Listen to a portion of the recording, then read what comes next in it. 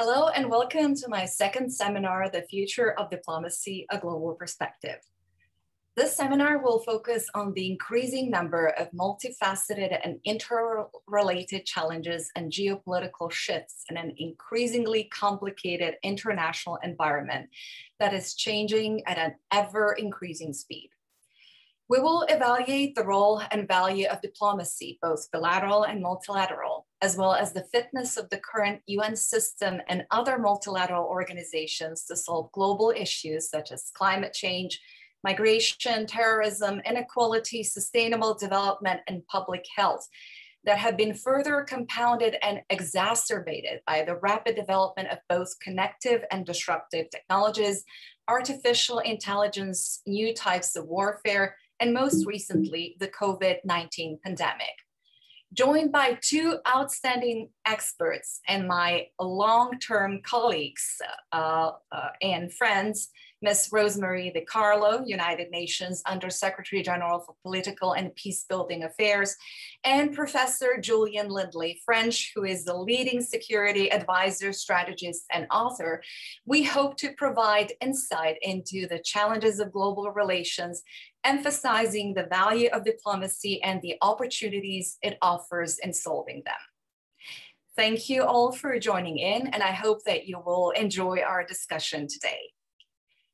When I first joined the diplomatic service of my country in the early 90s, like most of my peers, I did not have much experience in foreign policy and diplomacy.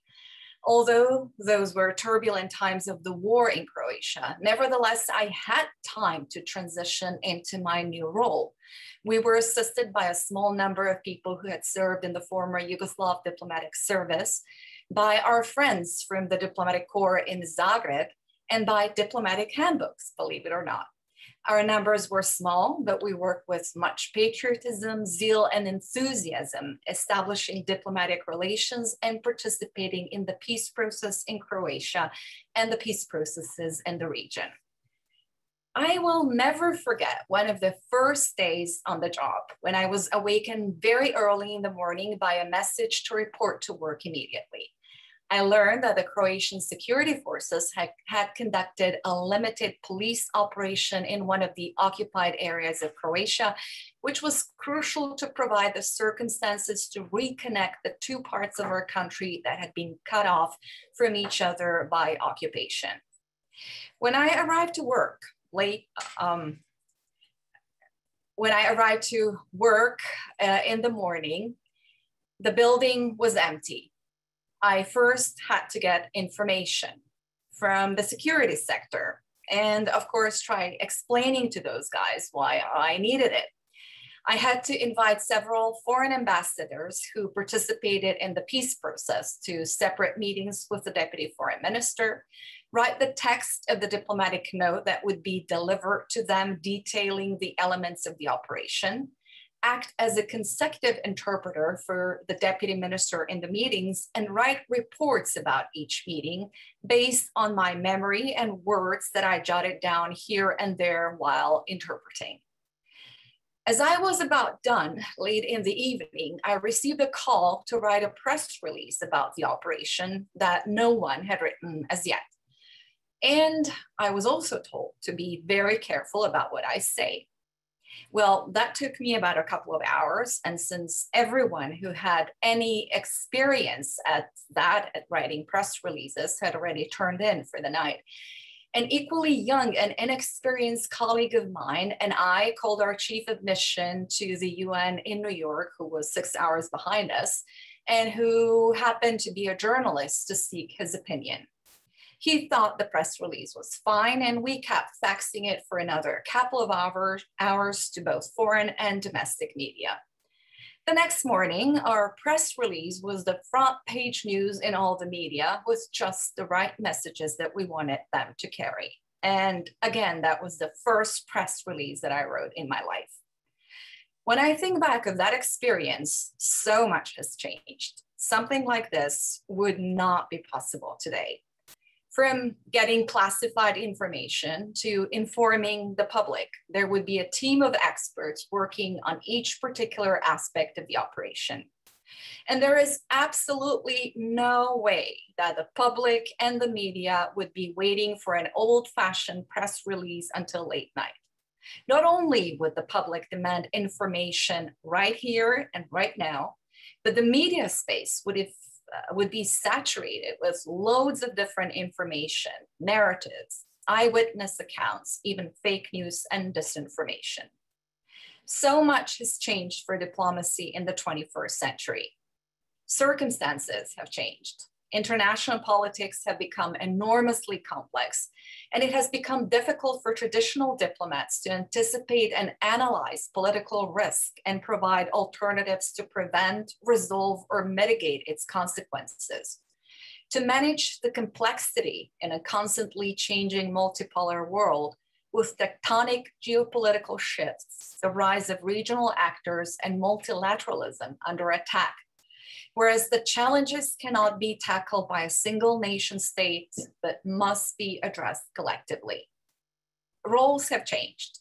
And diplomacy is branching out into such areas as public diplomacy, economic and trade diplomacy, military or defense diplomacy, business diplomacy, as countries try to protect and advance their national interests. Actors have changed, as well as their relationships. Long gone is the time when international relations were the domain of national states.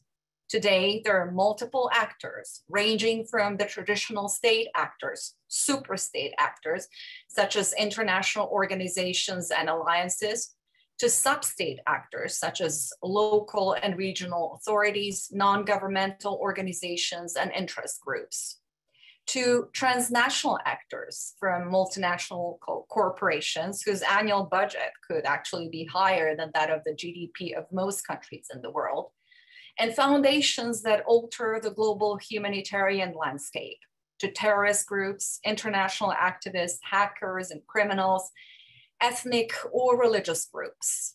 And then there are individuals at any level activists, social media users, citizen journalists, and influencers, the so called common citizens, anyone who can, empowered by the modern communications technology, exert their influence and create their narratives, issues, and agendas.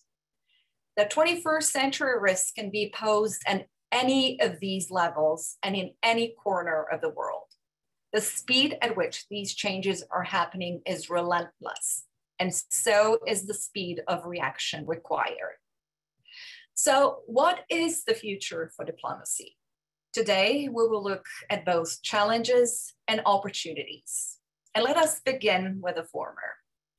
I am delighted to introduce and welcome Professor Julian Lindley French, leading security advisor and strategist, as well as an author of 11 books and numerous renowned articles and reports on topics including European defense, NATO, and geopolitics.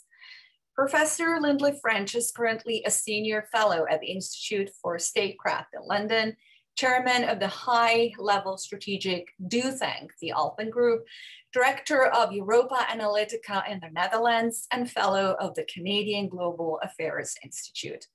Until 2017, Professor Lindley French served as the vice president of the Atlantic Treaty Association in Brussels and was made an honorary member of the Association of Anciens of uh, the NATO Defense College in Rome in 2015.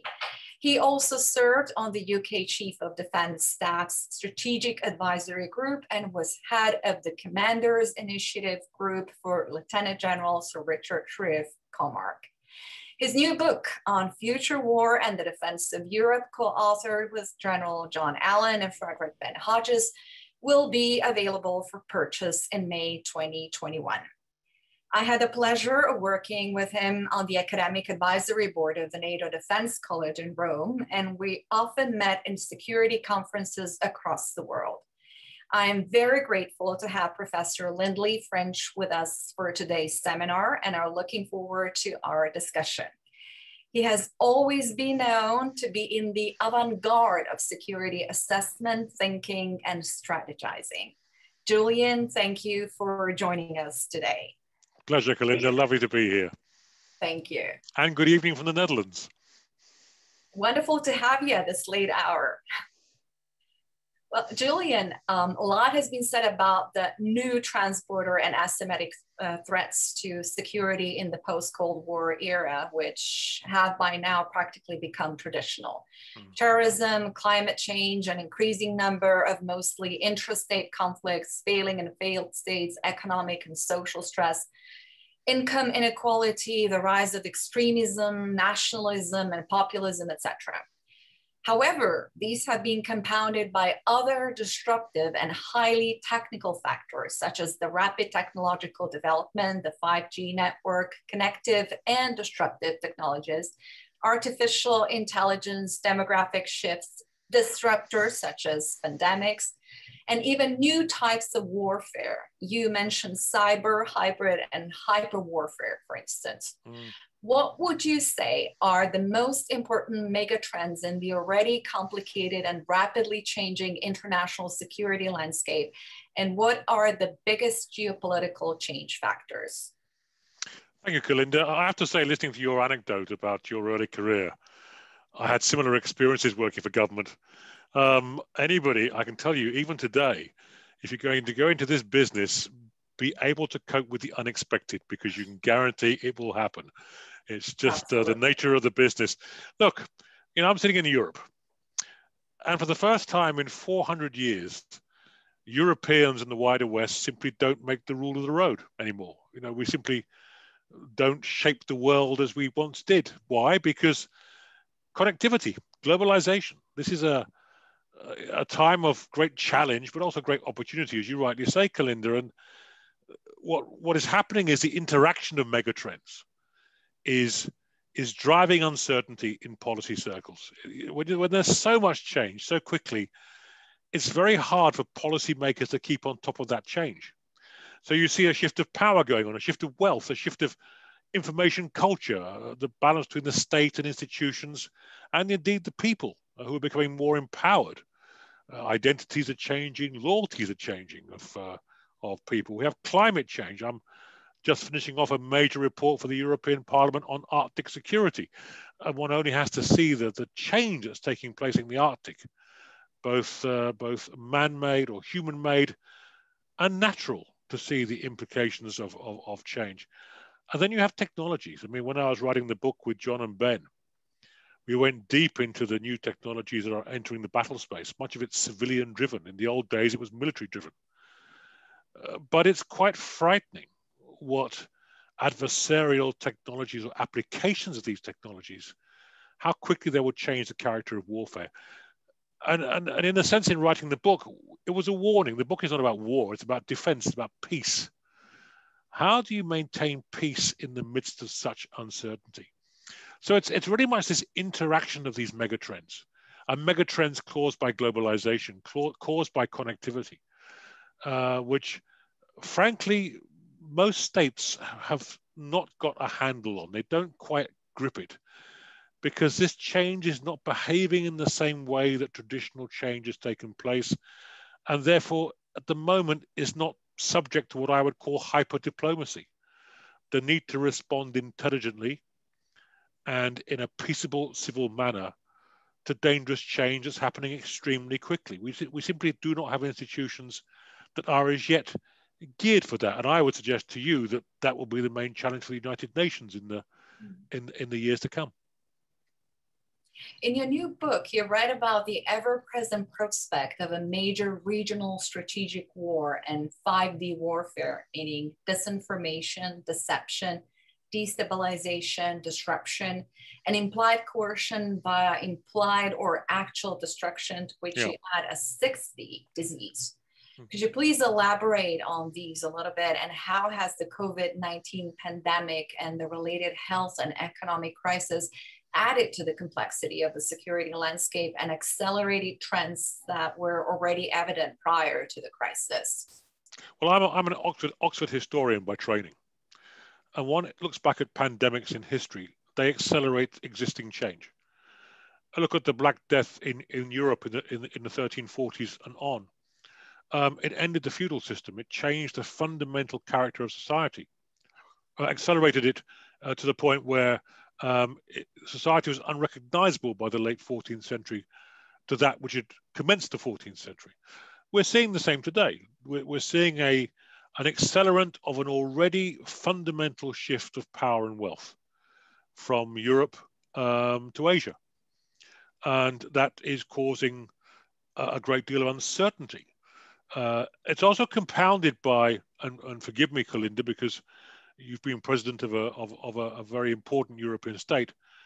But when I speak to so many European leaders, with due respect, they're not just risk averse, they're in denial about risk. Um, they don't understand it. They don't understand the worst can happen. And, and if you want proof that the worst can happen, look at COVID 19. I remember Tony Blair saying once at a meeting that there are so many PhDs written about pandemics um, that uh, they'll never happen. Of course, here we are. We've had this pandemic, came out of the blue. So, in a sense, certainly in Europe, we're unwilling to face the hard choices that we must. And what the book is about is a warning. A book is about what could happen in Europe. Um, uh, another major war in Europe is no longer unthinkable, uh, given the correlation of forces, given the pressures, given the change, and of course, given miscalculation. Uh, people always, particularly international relations theorists, um, try to drive the human factor out of international relations. To me, it's a dominant factor. It's it's the more power is concentrated in a few hands, the more dangerous, uh, the, or, or, the greater danger there is of uh, of uh, miscalculation. And what I see in Europe right now, and we've had the big British Defence Review in the last week, which I've advised on, which we didn't do, by the way, but the pressure to focus on health security because that's what in, is, is in everyone's mind at the expense of national security, national defense, or European security. I fear that's the big challenge in the coming economic uh, crisis in Europe post post pandemic. Whether we can both have improved health security and the enhanced European security that we'll need to have if our citizens are to be safe in the 21st century. And part of part of that, by the way, includes understanding that Americans could no longer afford, uh, given what's happening elsewhere in the world, to devote the amount of resource and energy they have to Europe's defense in the past. So, in a sense, all the assumptions that you and I have grown up with, in my case, longer, when I started in this business in, on the Cold War, I was looking at Soviet submarines in the Northern Atlantic in the early 1980s. Um, all those assumptions about power, change, threat are changing. And, and frankly, our political class is as yet unable to cope with change. Well, public diplomacy is taking center stage in today's world, and countries are expanding their role and exerting and increasing influences across the world. Yeah. And public diplomacy is no longer just about marketing strategies, promotion of values, language, and culture, not even um, more sophisticated branding strategies. Today, we see initiatives such as, for instance, One Belt, One Road. So, what role do you see for diplomacy? How does uh, strike a balance between hard, soft, and smart power. And in your book, uh, you know, as far as I, I, have seen so far, you hmm. also mm. um, you mentioned Europe and the United States, and you talk about a dual approach of uh, not just defense defense capabilities, but really of aligning the leadership issues, and in that context, also the soft and the smart power. I would yeah. say. Well, yes. I mean, the book came out of a major review of NATO that uh, John Allen and several of NATO's senior personnel, Sandy Vershbow, Gianpaolo Di Paola, uh, and I led back in 2017, the, the, the NATO Adaptation Initiative. And uh, we based our findings on Pierre Harmel's uh, group of 1967, who strongly recommend that you must have defense and dialogue. Um, yes, you need sound defense. In, in, in, in I believe in minimum deterrence, uh, not militarization, but the minimum deterrent relevant to the threat that one could possibly face. Uh, to maintain the threshold of, of, of military action is maintained at a high level. But dialogue is vital. We must always talk uh, to potential adversaries to, to lower the risk of, of conflict. And that's to me why international institutions are vital, like the UN. I've always believed in the UN. I, I worked for a time at the UN. Um, why? Because institutions prevent extreme state behavior. Uh, they, they, they prevent the realpolitik or Machtpolitik of the 19th century. They grew out of the First World War and Second World Wars when you had that, uh, you know, crass, narrow calculation of the national interest. Institutions promote efforts to find common ground, uh, to seek cooperation. And therefore, yes, whilst we must all have an insurance policy of defense, and sadly in today's world that is necessary, uh, the importance of in institutions cannot, cannot uh, be, be overstated.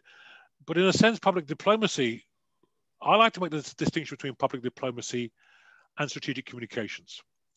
Uh, public diplomacy is a public good. It is about uh, communicating or searching for uh, the common ground. Strategic communications is at the heart of deterrence. Uh, deterrence is all about messaging. It's about sending a message to a potential adversary look, it really isn't worth you doing what you might think you might want to do. Because if you do, you will not achieve what you think you're going to achieve. And by the way, the price you, you will pay will be very high. So even in dialogue, you've got to have hard dialogue and soft dialogue. Um, but but essentially, the the old mantra that there ain't no soft power without hard power, regrettably remains to this day and know, speaking about communications, the rapid development of communications has certainly brought many changes and challenges for governments and diplomatic services. Uh, governments have an obligation to keep their public informed in a truthful and a transparent manner as democracies function on trust.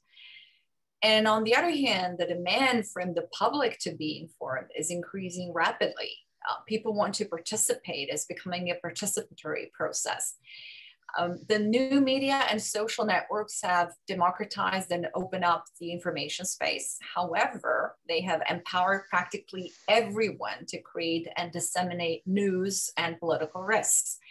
The media space is saturated with trolls, fake news, misinformation, malicious intent, hybrid action aimed at defamation with the increasing speed of information, the time for response is right now, in contrast to the story that I told earlier. Mm. And as we have it, uh, we have said it so many times in our own deliberations on strategic communications, perception becomes reality. So, how do you see the role of diplomacy in information warfare, the battle of ideas, as we call it? And how would you argue the case for strategic communications, how to prevent crises mm. or even wars with timely and targeted, accurate information? How can we make our societies more resilient to disinformation, violent extremism, and cyber attacks, for instance? Well, let me challenge you on one of your statements the, the responsibility of the state is to defend its citizens. It is not duty bound to tell them everything. Uh, I come from a country, the United Kingdom, where we have advanced intelligence capabilities. And we need to keep those things secret because it's in the interest of the citizen. And we tend to find that it's only activists who want to know everything, for good or ill. The majority of the population still, in my country at least, are willing to accept the word of the state, that the state is doing its best in their interests. And until that breaks down, I don't see that changing. So when we engage in um, diplomacy, strategic communications, cyber messaging uh, to adversaries, which we do, we're buying time because the reason we think time is important before deciding, whatever the technology, is that either you hand the entire decision making structure over to a machine, an artificially intelligent machine, which could happen one day in the battle space, but I wouldn't recommend it. Or you need to make the right decision. And that takes consideration. Uh, and uh, strategic communications and public diplomacy are part of a new escalation, if you like, in deterrence from messaging, from information, through conventional force, through the cyberspace, right up to ultimately nuclear weapons, in which you're constantly talking to your adversary, trying to avoid misunderstandings, trying to to build down to maintain a stability. And that can only be done with, with deliberation. And that's why both diplomacy, public diplomacy, and strategic communications are vital in buying that time before anyone reaches for the arsenal. Because in this day and age, that arsenal, which now includes cyber, digital decapitation, as well as conventional military force or nuclear force, uh, could be extremely destructive. In the book, we open with a scenario, uh, which is based on a actually uh, it starts on a sea battle that my my, my grandfather fought in, uh, in 1943, called the Battle of North Cape. We have the Second Battle of North Cape, and it's the start of a major European war, which includes the use of fake fake news, disinformation, destabilization. The essential objective of policymakers, despite all the new technologies, all the new challenges, is to establish a clear relationship between protection of people, i.e., robust, resilient societies that can function in an emergency, and that's what matters in an emergency, and power projection militaries which can defend in a, in a, in a mobile manner. There's no such thing as static defense uh, anymore. What's happened in Europe, in particular, in the last 20 or since the end of the Cold War, is we've, we've built vulnerability into our systems. We've become very, very trusting, which is a nice thing in many ways. But we've laid those vulnerabilities open to adversaries who are now systematically analyzing those vulnerabilities and seeking to exploit them, not just states, but increasingly capable non-state actors. At this point, I'm uh, going to turn to Ethan, one of the co-producers of the seminar and one of my uh, very valuable student associate to ask you the final question for today. Ethan. Evening, Ethan. Good evening. Uh, thank you, Kolinda, and thank you, Julian, for being here and for your fascinating Pleasure. discussion into diplomacy, uh, rapid technological development, and strategic communication.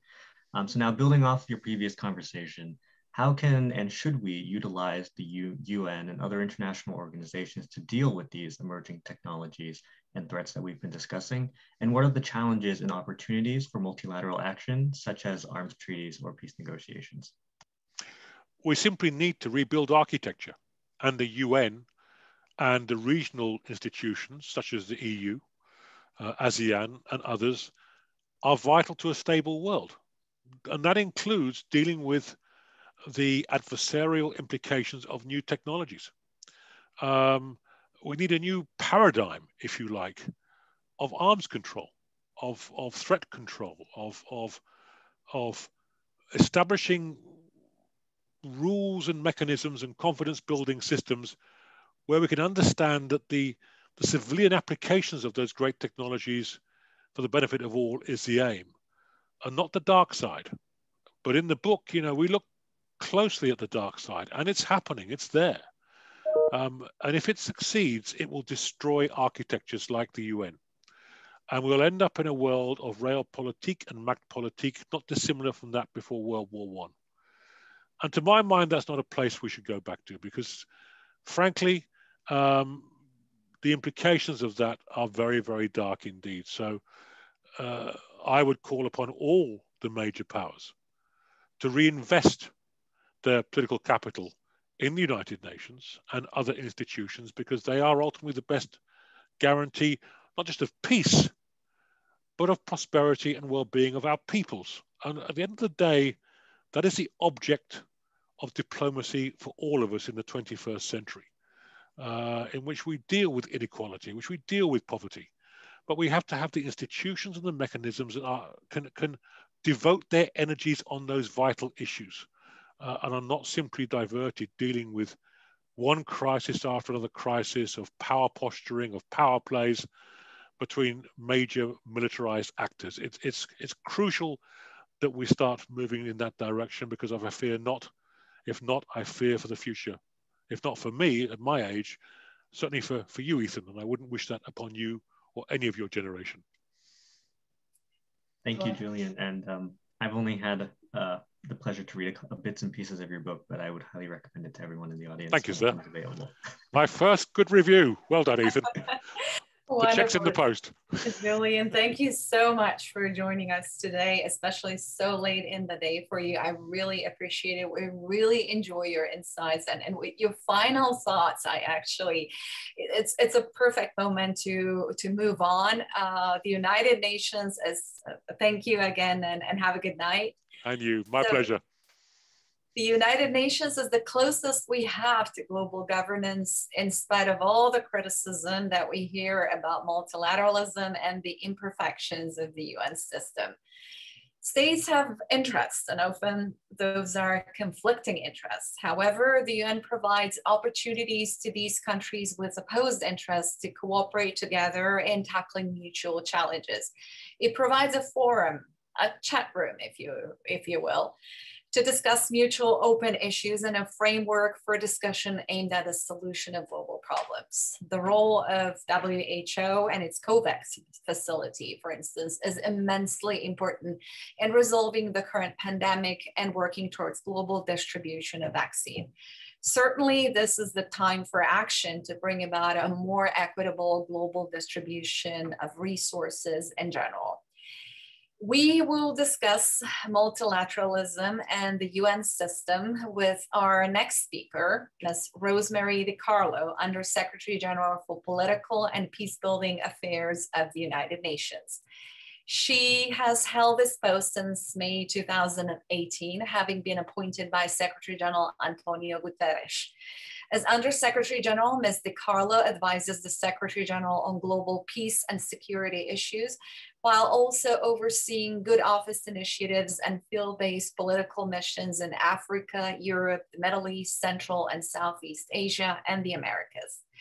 Prior to holding the post of USG for Political and Peacebuilding Affairs, Ms. DiCarlo served as a Deputy Permanent Representative to the United Nations representing the United States at the UN uh, Security Council and the General Assembly. She also held the position of Deputy Assistant Secretary of State for European and Eurasian Affairs at the US Department of State and the Director for United Nations Affairs at the National Security Council. From 2015 to 2018, Ms. DiCarlo was president of the National Committee on American Foreign Policy and was appointed a senior fellow and lecturer at Yale's University's Jackson Institute for Global Affairs. I have also known and worked with Rosemary um, in her and my different capacities for a number of years. Rosemary, welcome and thank you for your participation in today's seminar. We are so excited to learn more about your perspective. So hello and welcome again. Thank you so much, Kolinda, and it's so nice to see you again. Um, and I'm really pleased to be here. Uh, I'm excited about the work that I do, and I hope that I can share with all of you uh, my perspectives on, on, the importance of the United Nations and the importance of multilateral approaches. Thank you. And I really appreciate that. And I'm uh, uh, absolutely certain that our students and everyone else who is watching will very much appreciate your views, insights, your experience, uh, and your ideas uh, on the future of the UN and multilateralism. So, Rosemary, what would you say is the biggest challenge facing multilateral institutions today? Okay. Well, first, let me just say it's it's obvious it's obvious that we've got a weakening consensus about multilateral approaches. We see difficulties in decision making by UN legislative bodies such as the Security Council, but also the General Assembly and other bodies. Um, there are disagreements over values, uh, competition for influence. I would say the biggest problem, though, that I see, and the reason why the membership has not come to greater agreement, is because there are different interpretations of the very principles that the United Nations is based on. Let's take, for example, the issue of sovereignty. And I think this is what is the cause for many of the, uh, for the inability really to come together on some issues. Let's take the case of Myanmar. And we see what's happening in Myanmar today. We have quite a large outcry among the UN membership, but certainly it is not uh, across the board.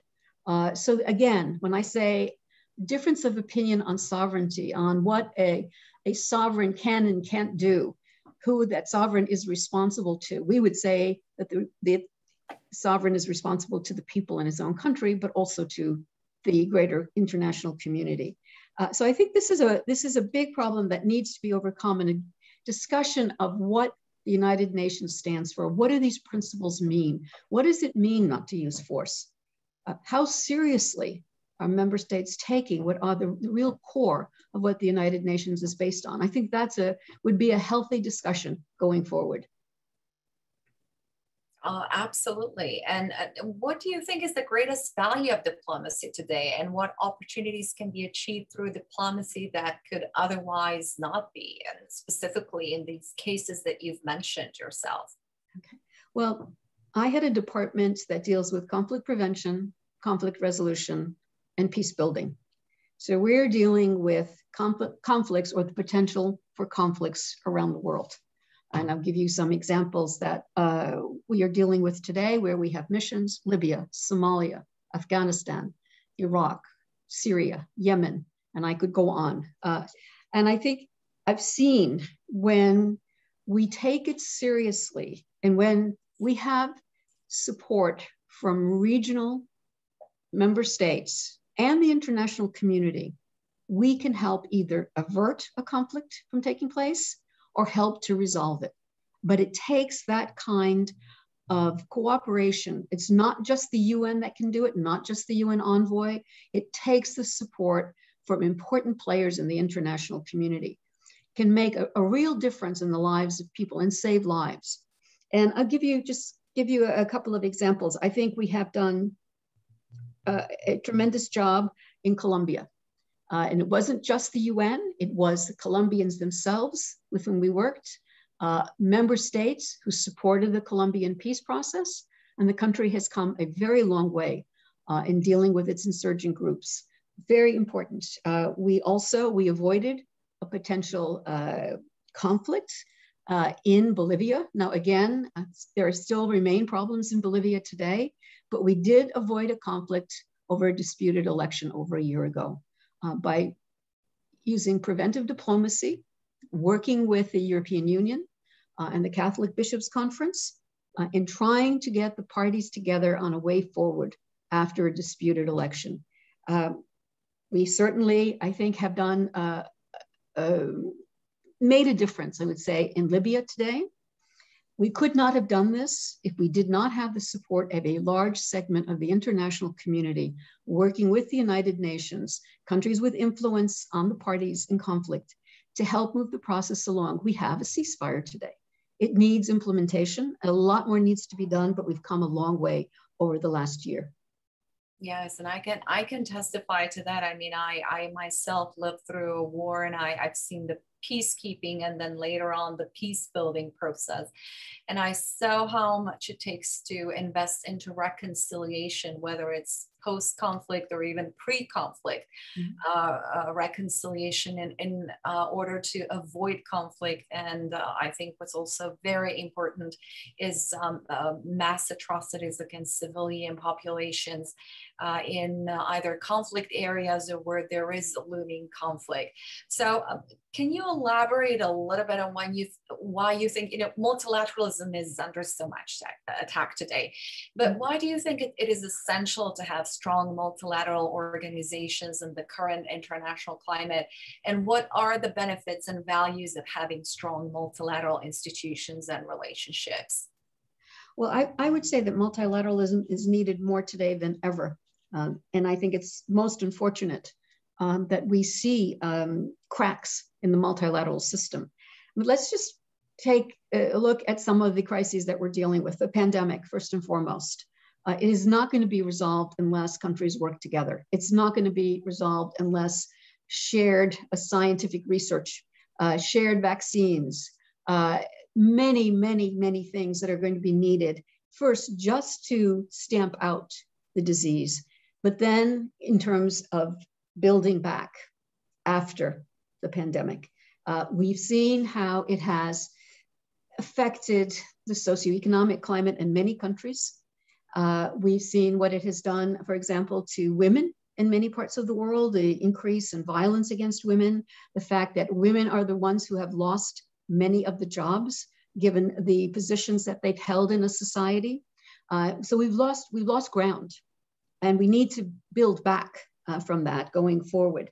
Um, the issue of climate, uh, there is no, no doubt that we need to work together to deal with the effects of climate change, uh, certainly to mitigate its effects, but also to deal with the security aspects of climate change, as we've seen where changes in climate have exacerbated, for example, movements of people in various parts of the world. It's not something that can be done by just a few countries alone. It, it really will take, you know, a good segment of the international community to come together on it.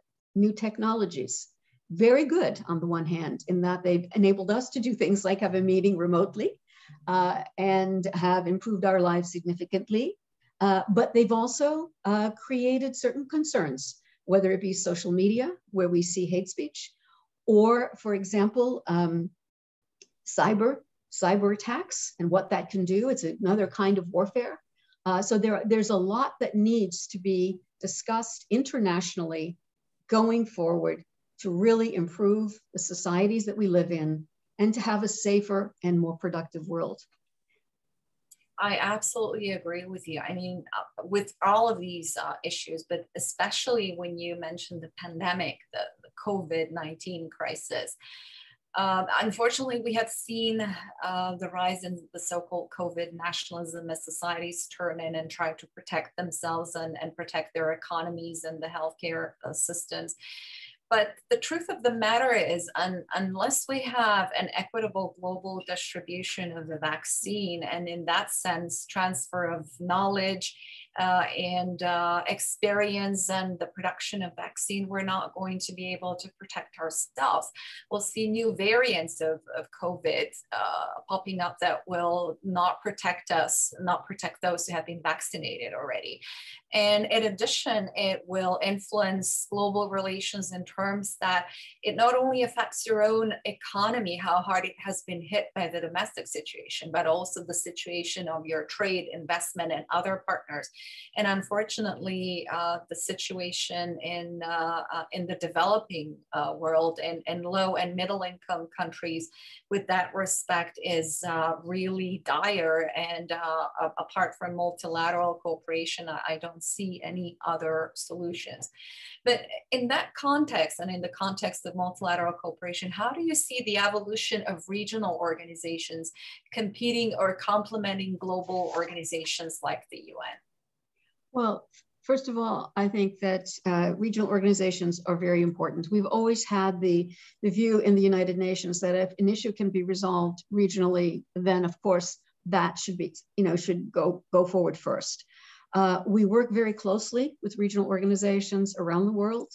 Um, I should also note that as conflicts become more complex, they are often more regionally focused as well. So the region itself is involved. So the regional organization will make a tremendous difference. I'll give you a couple of examples. Um, we work extremely closely with the African Union, uh, both on issues dealing with peace and security, but also on development issues. Uh, and um, we have worked you know, side by side with them in Somalia, in Libya, Central African Republic, uh, Democratic Republic of Congo, Sudan. I could go on uh, with the countries where we're working together, whether it be paying joint, making joint visits, um, whether it can be in the case uh, such as, as, Somalia, we are supporting AMISOM, the African Union force that is there, uh, dealing with um, Al Shabaab. Uh, but it really it, it, helps because we bring different perspectives uh, to a particular conflict or a particular issue can but can play reinforcing roles and extremely important. Certainly in the case of africa as i've mentioned the relationship is very close. Um, also working with the osce we've worked with the osce on nagorno-karabakh. We're very supportive of the minsk co-chairs. Um, ukraine uh, and a range of issues uh, on the European continent, where we are in frequent contact with OSCE, League of Arab States, similarly, uh, certainly in the case of Libya, but elsewhere also in um, the Arab region. Uh, and of course, the European Union is a good partner of ours. Now, the European Union functions very often as a very generous donor but they also bring a lot of political weight to a whole range of conflicts, conflicts around the world. Uh, I do think uh, it is extremely important uh, to continue those relationships. We're now also working with sub-regional organizations. Uh, we've got a number of uh, agreements with uh, organizations that cover a particular region, for example, on, in a continent, on Africa in particular.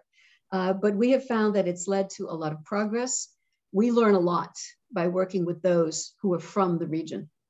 Absolutely. And I must say, you know, from my own experience as well, both going through again that peace building process and from working in the government, uh, the cooperation of, of, regional institutions has been very valuable, not just with the UN, but with the OSCE or the European Union. The prospect of the membership for Croatia was, I think, crucial in uh, giving impetus and, in, in, being a catalyst for the necessary reforms for democratization, etc., the so-called European organization process. But working together with the OSCE, we were able really to close all the open issues that remained in Croatia in terms of the reconciliation process, to carry the process forward, and to focus on the joint future rather than the past that divided us. So I completely agree with you that the work of the UN and uh, regional organizations is absolutely complementary. Now, there's been a lot of talk lately about the reform of the UN, uh, more regional representation, mm-hmm. reform of the UN Security Council, even the veto issue, etc. So, Rosemary, how would you strengthen or reform the UN or other institutions to face global challenges that we have been talking about? What would your ideal future outlook be for multilateralism? Okay. Well, I see it from a somewhat different pers perspective than from a member state, uh, being inside the UN Secretariat. But I think it's extremely important that the UN focus more on conflict prevention rather than conflict resolution. Now, we spend a lot of money internationally uh, on conflict resolution, whether it be a peace process, a peacekeeping operation, uh, setting up a mission after a conflict has taken place. We need to focus a lot of our efforts now on preventing that conflict from happening. And conflict prevention is not just about mediation. It's not just about sending a mediator to pull parties back from the brink. It also is about development. It's about many other issues that can help and exacerbate tensions within a country. I always find it um, a bit discouraging uh, that uh, member states will pay for conflict resolution, but have not put enough funding into conflict prevention. Uh, and World, the World Bank has done studies that shows that an ounce of prevention can save millions of dollars going forward um, rather than paying for uh, support to a country that has erupted into conflict. Uh, that would be my first and foremost reform that I'd like to see happen within the United Nations in particular, in other organizations as well. A real eye on conflict prevention and looking at all the ways that we need to, to deal um, with some of the challenges that are facing. Climate change, for example, I mentioned the, the impact of climate change on security. We need to be able to be dealing with local communities, intercommunal dialogue, you know, helping communities that are at odds with each other because of the movement of people, because of, the, of what climate change has done to their livelihoods, uh, it, as a way of preventing conflicts from erupting down the road. I also think that um, we need to look greater, I think, at the areas where um, there are commonalities among member states. Arms control was raised by the previous speaker. Uh, and very important, if you think about what happened back in, in, during the Cold War, despite all of the animosity uh, among countries, you saw the two major nuclear powers coming together to negotiate arms control agreements that by and large have lasted, that really helped saved us from the brink. Uh, it's extremely important, I think, now to identify those areas where we can make that kind of difference uh, and where we can see that solving one issue perhaps might give the confidence or the trust to be able to go on and solve other issues that are in disagreement. And then finally, I would say that, again, we, we really do need to focus on sustainable development. And uh, we've got big challenges going forward uh, to implement the sustainable development goals that were agreed to several years ago. Uh, but it will make a huge difference, I think, not only for prosperity, but also in terms of more, more peaceful societies going forward. Oh, absolutely. When I when I spoke at the United Nations as president, I said that we really need to report on what we have done in order to implement the SDGs rather than use the podium as a self-serving um, podium to, to, to promote either ourselves as, uh, as politicians or just to, to keep repeating the same old conclusions. But now an, an issue that I think is of um, crucial importance and that is so often sidelined. And in my first seminar, I talked about uh, the fact that uh, statistics show that when women are uh, involved in the peace process, the peace process is much more of a chance to succeed than when they're not. We've seen that in Croatia, we've seen that in some other parts of the world. So, how can we ensure that gender perspective is at the center of the response? Great. Well, thank you. Thank you for that question. First, I think we need to lead by example. Uh, and we've tried very hard to whenever we have a, a mediation team or leading a peace process to make sure that we have also women as mediators uh, at the table. Uh, we have set targets uh, for women's participation. not easy uh, to fulfill, and I will be very frank with you. We were, we were very pleased we were able to get 30% uh, female participation in the Constitutional Committee uh, dealing with Syria. Uh, in the most recent political dialogue on Libya, we had 22% women at the table. Not easy to do, and they don't just come. Uh, so it, it, involves a lot of work leading up to that process, including uh, training, confidence building, um, cajoling, frankly, uh, those who are in power to include women in their delegations. Uh, we have worked very hard with, again, the African Union on training uh, women mediators in Africa to deal not only with sort of national dialogues, but also with local community initiatives.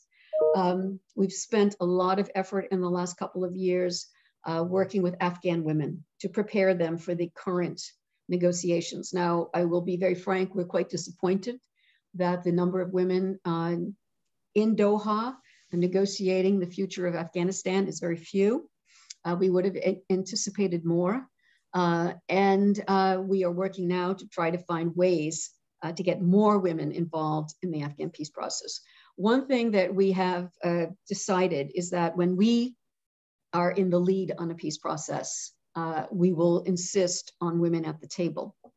Again, we may not get the 30% target that we would like, uh, but we certainly expect to have women at the table for us to be leading it. and one way of, of doing this is by having if you will, bonus seats at the table. Let's say you have two delegations, 10 and 10. Well, one might get 13 if they're willing to add three women to their delegation. Uh, I think there's just little tricks that we're playing here, but uh, other than that, it makes it very difficult.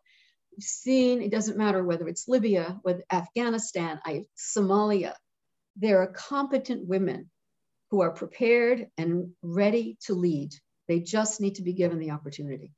Oh, I absolutely commend you and I wish you all the best in that effort. I firmly believe that women should not be looked at just victims, but as agents of change in any peace uh, keeping or peace building uh, process. Uh, now I'm going to turn to Kaylee, one of my other student associates and uh, a co-producer to uh, this of this seminar to ask you the final couple of questions. Good afternoon, Ms. DiCarlo, and thank you for joining us. So my first question for you would be, how does the UN work to advance peace? How do we work to advance peace? Well, I think, I mean, throughout the organization, it's about peace, whether it's about development, uh, human rights, uh, or uh, humanitarian assistance, or, as I said, uh, um, dealing with conflict uh, resolution. Uh, the goal is to promote one tolerance, respect for others, uh, and respect for certain principles upon which to guide international relations. That is the UN Charter. that are embodied in the UN Charter and various other UN documents, Declaration of Human Rights. Um, it is, um, it is the, the, the issue that really is through all of the work that every aspect of the United Nations does. Uh, and peace is, is really something that cannot be achieved by just working one track alone. One of the reasons why Secretary General Guterres, when he uh, took office in 2017, launched, launched, a reform of the UN system, uh, where there would be greater synergies among the various pillars of the United Nations, so that political work wasn't just, you know, we didn't keep, we didn't just think about things that were political, but make sure we were mingled with our de development colleagues to understand the impact of one issue upon the other. Um, this is basically at the heart of what we do. Thank you for that. Um, and so some of us know in March of 2020, Secretary General Guterres called for a global ceasefire in the wake of COVID-19. Uh, could you perhaps tell us a bit more about it? And do you think it is succeeding? Thank you very much for that question. Yes, Se Secretary General uh, announced uh, uh an appeal for a global ceasefire at that time in order to um, create the space for the delivery of humanitarian assistance uh, during as the pandemic started, uh, and also to create opportunities for dialogue and perhaps, and perhaps resolution of conflicts. Uh, initially, it received tremendous support. We had, I can't remember the number of countries, 150 countries, members of the UN that signed on to it. A number of armed groups uh, that did so, uh, religious leaders. Uh, in practice, it did not have the tangible results we would have liked. Uh, we, we understood we were going to have to keep at, at it and work harder in order to get ceasefires on the ground. Now, in some cases, we were able to do so. Libya, you know, case in point. Uh, we saw that things had simmered down in, in Syria, for example. Uh, but then we saw conflict erupt in other places like Nagorno-Karabakh. Uh, we still continue to call for ceasefires.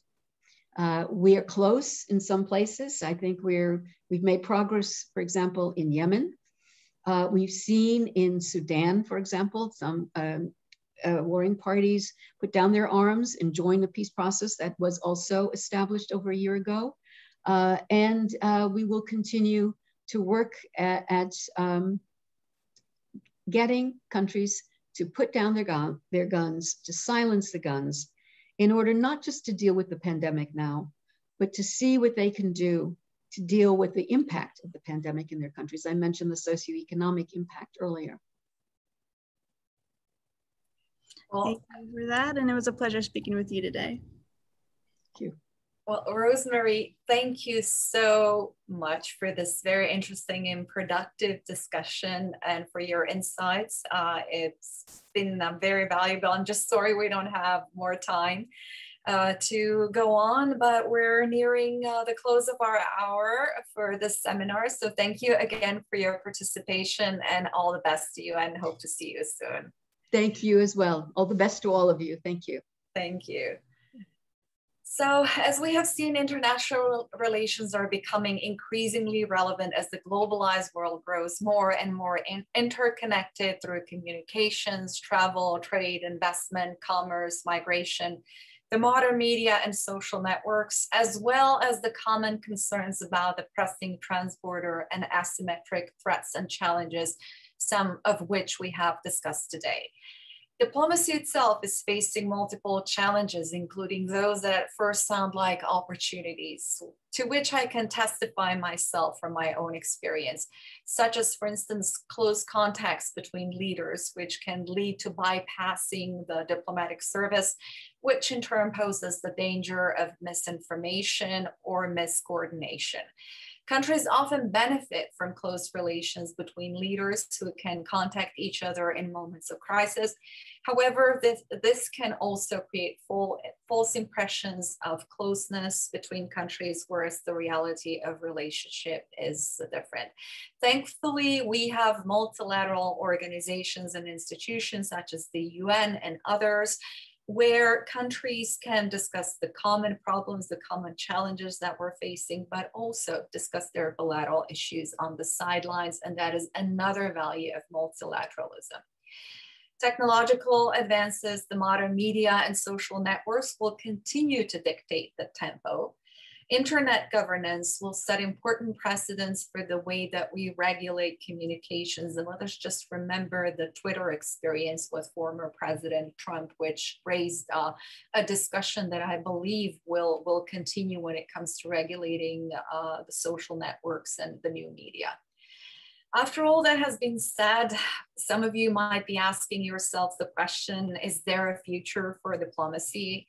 And my answer is yes, there is definitely diplomacy remains indispensable.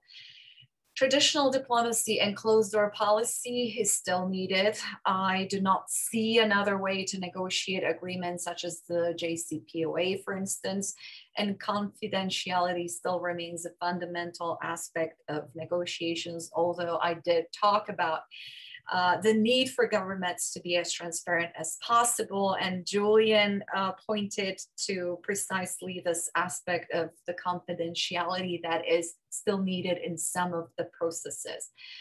Wars obviously cannot be ended over social media and economic disputes cannot be resolved without direct negotiations. The same goes for the control of nuclear, uh, nuclear armament and many other issues direct dialogue between governments is important to deal with challenges that we are all facing.